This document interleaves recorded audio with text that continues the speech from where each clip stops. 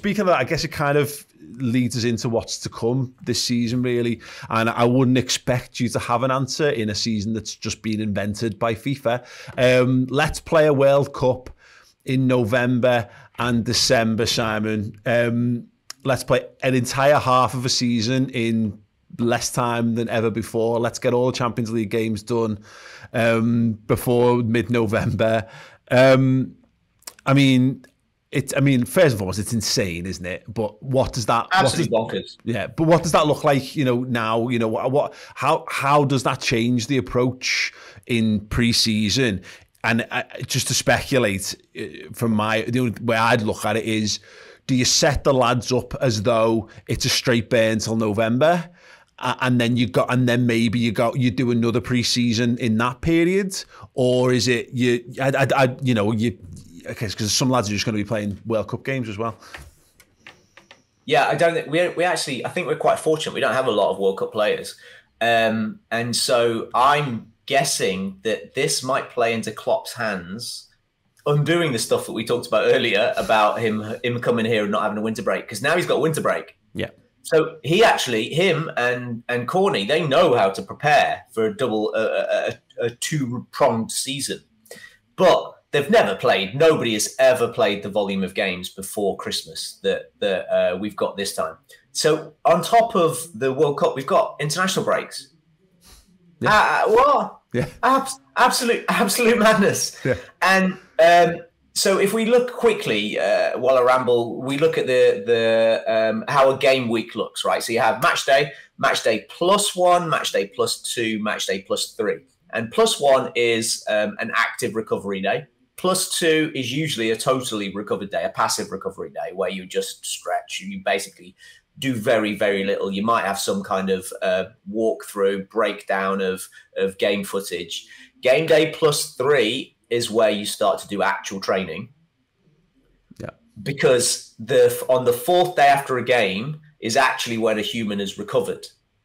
So on on all of the all of the testing of, of footballers over the years, the central nervous system has fully recovered on the fourth day after a game.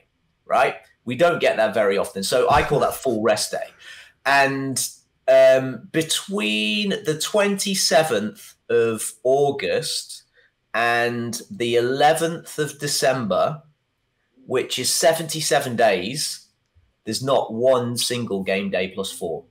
There's not one single fully recovered day when and football clubs train actively train in the way that you expect football teams to train. If you showed up at a training ground and you see lads um, like competing and sprinting and maybe even 11 on 11, that only happens on game day plus four. Never happens on game day plus three. Yeah. Right. That doesn't occur once in 77 days between uh, Bournemouth. So from the fourth game of the season and the World Cup, it doesn't happen at all. So it's just game, two days, game, two days, game, two days, game, internationals. So it's madness. So what we have to do now is embed all of the tactical approaches for the season. So we always have some. There's always a nuanced um, uh, change in how we how we're going to going to create for the season. That's going to be done now because he, there is no moment in the season where we can start to do that until after Christmas, which is really weird because we've got a whole ton of extra days they, it's like they wedged everything in before the World Cup, and then afterwards they went, ah, fuck it. like this, just yeah. it's it's surreal how few games there are after Christmas. Yeah. Like like this year when we when we got through all of the cups, there was like, oh, we're never going to fit any, but any. There's no no days to fit games in. There we go. No, pick a week. Pick a week. It's yeah. easy. Yeah. It's it's so weird why they why they've set it up this way. It's for the Europe your um your Champions League, I think. Um, so anyway, what the consequence of this is there is going to be lots of proactive rotation. My feeling is that he's gonna he's gonna have 18 players that get fully rotated in the first half of the season. You're gonna get Robbo, Trent, Virgil, Mo. They're going to be playing 2,000, two and a half thousand minutes ish. They're going to be used quite a lot, quite intensively because they're not at the World Cup and apart from Trent, obviously. Mm-hmm. Well, yeah. he's going to play. Yeah. Um, and uh, but you're going to offset that with probably uh, 800 minutes ish from their understudies that wouldn't usually play. They would only get Carabao games, and there's no Carabao. There's one Carabao game before Christmas. Right, the, the last game before they leave for the World Cup. That's when the first Carabao game we get to play. So sign me up. But it's all just real games. So I hate that goddamn competition, and I, I have no interest in the domestic cups at all. Um, but this year we can actually use them as preseason and and topping up. So you you, you remember when I said about the understudies mm-hmm. um, not being fresh, not being not being primed to to for game time. So if we're using those for those players, I'm fine. As long as our first team don't get any bloody Carabao Cup games, sign me up for that. Like, yeah. just play our reserves. We've got a significant reserve squad.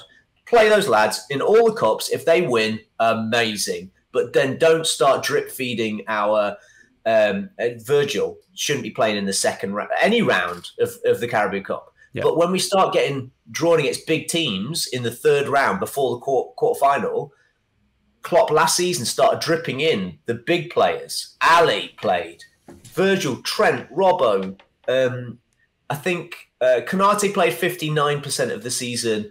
Um, Jota played 58% of all minutes in the cup. Trent played 55. Robbo played 55. So at the end of the season, they they wasted so many wasted. We won those cups, so that's exciting. yeah. Okay. Yeah. Yeah. Let's just just to qualify. What is, what is the cost? Yeah. yeah. How tired were they at the end of the season? Yeah. Because they did that, and and and we've got actual understudies for every position on the pitch now. So so as long as we're smart, we can mitigate their load and they can be fresh. If you were coming into the season then, because obviously that's that's very much looming on the horizon, it's going to be part and parcel of the preparation. The you know the team will be back in on th- this week coming. Preseason will begin, jetting around the world again, which is obviously a, a thing. But because uh, I, I think Liverpool need to hit the ground running this season. They need to hit the ground running every season when you're playing against Manchester City for for a title. How much do you think?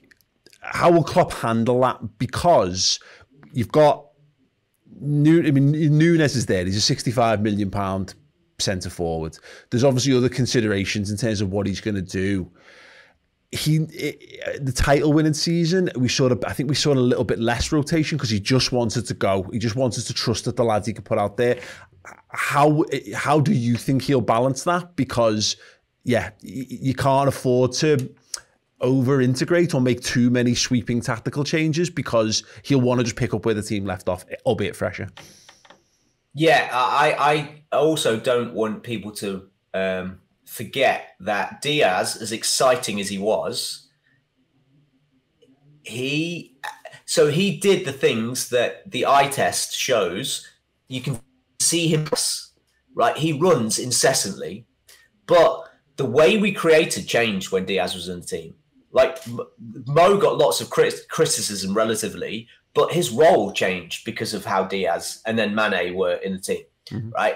Off the ball, the way we press changed when Diaz is in the team. So he isn't the perfect cog in the system yet. He will still take time. So Darwin will absolutely take time. I don't I don't know whether my feeling is is unlikely that Klopp will go um, right, play exactly the same way but, as you would everybody else, I think they'll try to mitigate the things that he does instead until he's caught up to speed.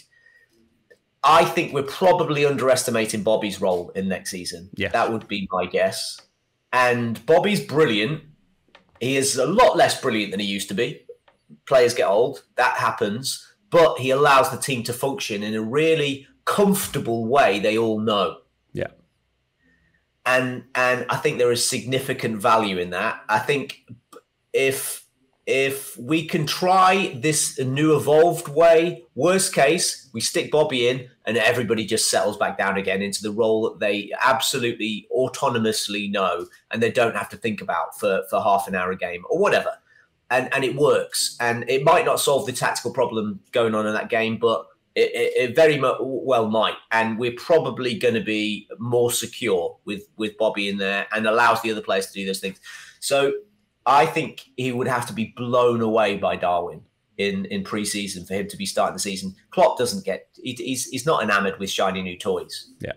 Hope you enjoyed that little section with Cy Brundish from this week's Expert Insight. There is loads more from that show right now on Redmen Plus. We delved into the science behind why Joel Matip played his most ever minutes for Liverpool, why Jordan Henderson played his most minutes for Liverpool in four years, and also uh, a little bit on the future of Naby Keita.